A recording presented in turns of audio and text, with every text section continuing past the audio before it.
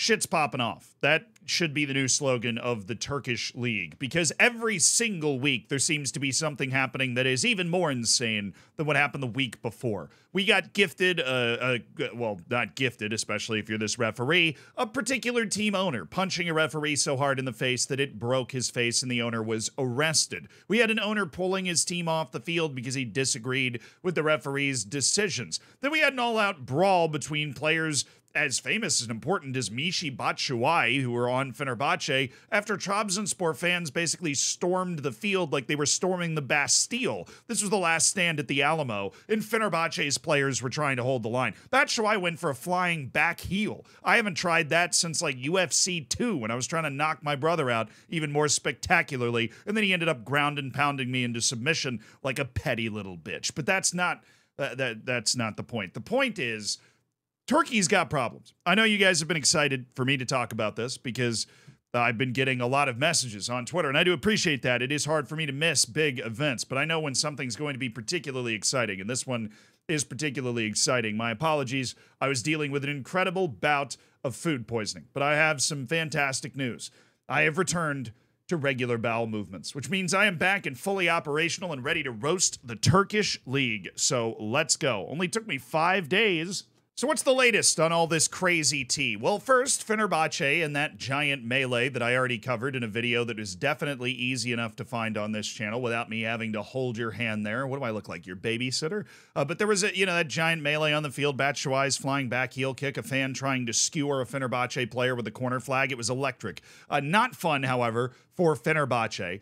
The Turkish Federation decided to suspend the fans from the stadium, not like just the fans that came on the field, but no fans in the stadium, and fine uh, Trabzonspor was the uh, club that was involved. They were the hosts of this giant dance party on the dance floor, and they fined about a hundred thousand U.S. dollars. Upon appeal, they reduced the ban to four games from fans in the stands and fined them less than twenty thousand dollars. Which I'm just gonna come right off the top rope here and say I understand Fenerbahce being really upset with that. I believe that if, you know, a couple hundred at least fans ended up on the field after, say, a Merseyside derby and started to try and punch Mo Salah repeatedly, right? That that would be a cause for year-long bans and millions and millions in fines. Now, obviously, the difference in money from the Premier League to the Turkish league is significant, but it's not as significant as you might think. There's a lot of money in the Turkish league, and so twenty thousand dollars might as well be as like it's a uh, it's like taking a penny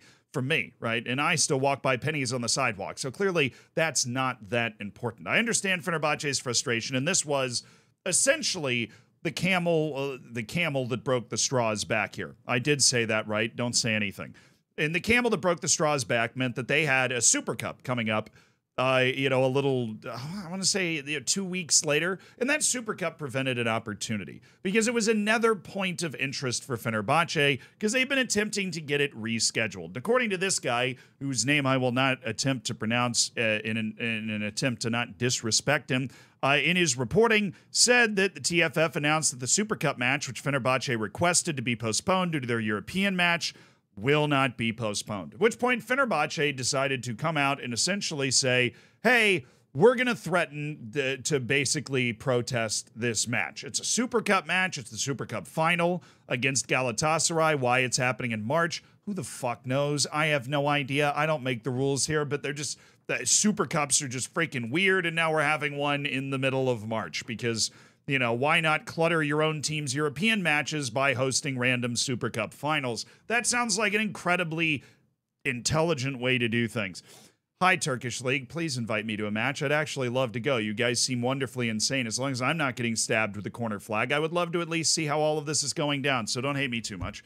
But Fenerbahce is clearly coming into this match with an edge. I, before this match even happened, was getting sent various things like, well, Fenerbahce is going to play the match with the U19s. They're not going to show up to the match at all as some form of protest. Like, there was a lot of options on the table, and it was discussed beforehand that something might happen.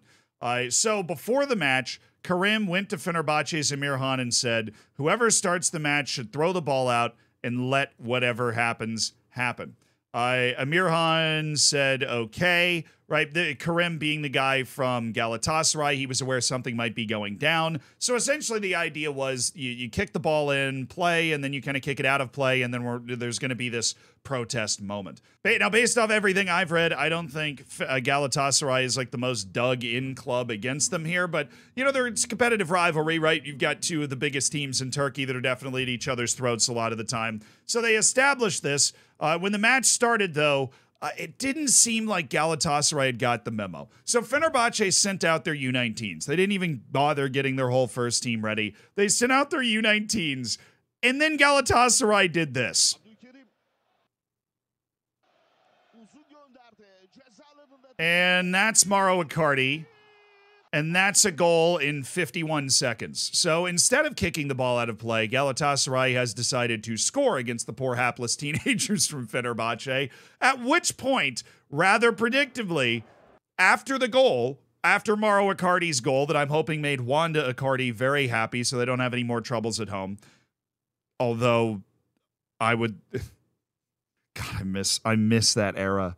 I miss the Mauro Icardi Wanda Icardi drama. It was so delicious.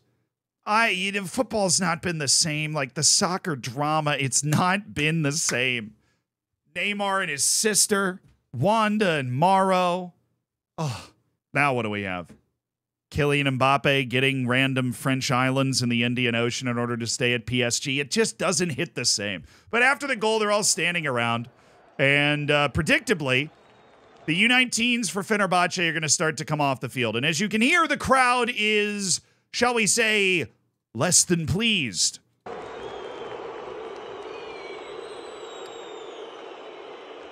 Yeah.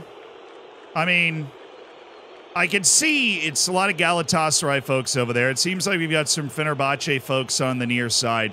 Uh, but basically, the U19s, after the opening goal from Galatasaray, are just called off the field right? They they they just call him off the field. Now this wasn't like the most attended match ever because if you freeze frame this, it's like, come on, you know, there's we have the supporter sections, but it's not like this Super Cup. It's the the Beatles aren't in town, right? I can read what the stands say, and a match is currently going on. That usually means it's not that big of a deal.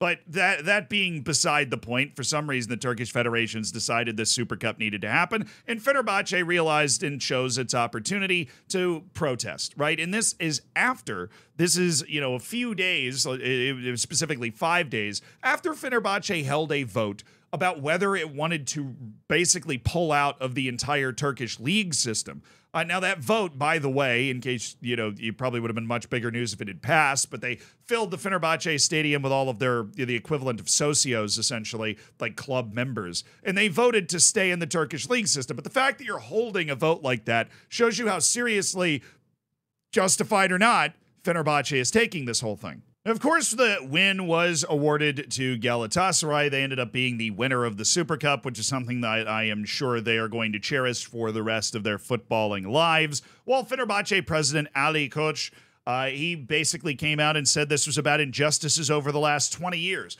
I will not pretend to be somebody that is incredibly well versed in football politics in Turkey. That sounds like something that I need a name that includes one of these types of letters in to be able to properly understand, right? That's just not something I'm going to be able to approach. But the best that I understand it, Fenerbahce feels like there is a power structure in place that has consistently disadvantaged them. That being said, the power structure in place does also blame Fenerbahce for various things like a match fixing scandal, and so nobody's hands are clean here. There is just a ton of bad blood and a ton of scar tissue, and as I was brilliantly saying earlier, they continue to find new camels with which to break the straws back. Yeah, there are more, you know, everything now seems to be the last drop of water that spills over the top of the cup, and Fenerbahce's had enough. They're, I, I'm sure they've at least made some phone calls to some different leagues to try and get into them. You now have a team team that is walking off the field after sending out its U19s for a Super Cup final, and they are sending a very clear message that they are going to cause issues. Uh, the guy said, "We have now entered a period in which we must rebel against these injustices, these injustices, inequalities, double standards, those who sow the seeds of unfair competition in plain sight." and the theft of our labor. It is time for a reset for Turkish football. We are in a period when the swamp must be drained and Turkish football must rebuild itself. I don't disagree with that. Whether his his claims of injustice are right or wrong, I don't disagree with the fact that Turkish football is in need of a serious rebuild. Because at the very least, Turkish football is in chaos. Whether the injustices passed against Fenerbahce are true or not, you still have an owner that broke a ref's face. You have an owner that eh, this is the second team to walk off the field in the middle of a competition in Turkey in like two months. Like that is not normal. That is not okay. And not the sign of a healthy football league or of a healthy football federation that has all of its ducks in a row. And based off of the things that Fenerbahce is saying, they believe the system is unfair, that there are certain people that have friends in different positions of power, and there is a lot of jockeying for that power in which Fenerbahce, I guess, lost the game of musical chairs and is pulling the giant release cord lever thing that like all spies seem to have in their cars, like the James Bond ejector seat. That's what they're trying to pull. Now, Galatasaray's deputy chairman, Erden Timur, did say the main issue here is that this tension needs to end as soon as possible. Various incidents are happening right now, all of us putting forward that there have been injustices on our sides, and where these injustices are taking place is on the field. Uh, that actually seems like the most reasonable take anybody's had about this whole situation so far. He's acknowledging the fact that you know, not everybody's hands are clean, but that this is something that needs to be addressed as soon as possible. It does.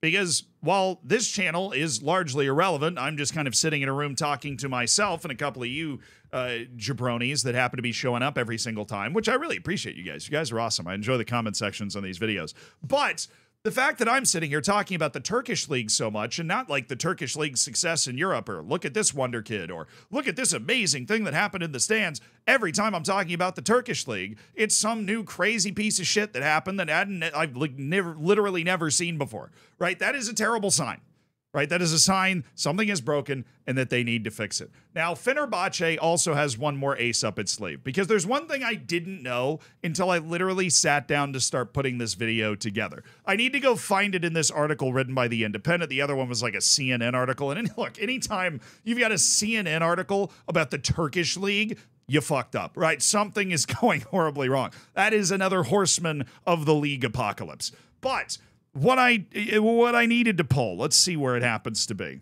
Oh yeah, apparently 3 players and 2 staff members were cited by the Turkish FA for reacting to Trabzonspor fans.